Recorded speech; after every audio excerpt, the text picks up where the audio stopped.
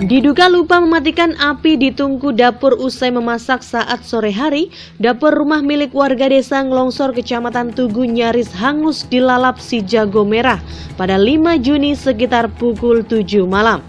Beruntung tidak ada korban jiwa dalam kejadian ini, namun kerugian ditafsir mencapai puluhan juta rupiah.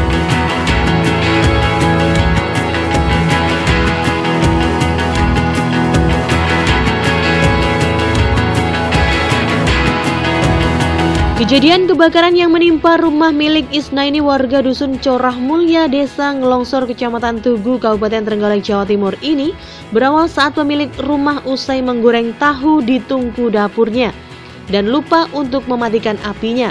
Sementara itu api tiba-tiba membesar hingga membakar bangunan rumah bagian dapur korban. Kasubag Humas Polres Trenggalek Ibtu Supadi menjelaskan bahwa saat terjadi kebakaran pemilik rumah sedang tidak ada di rumah.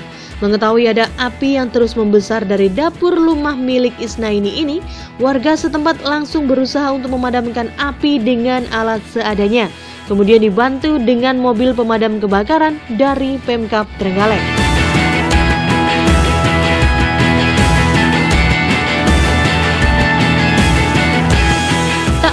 Waktu yang lama kobaran api dari dapur rumah milik korban ini akhirnya berhasil dipadamkan oleh warga bersama pihak kepolisian dan tim pemadam kebakaran.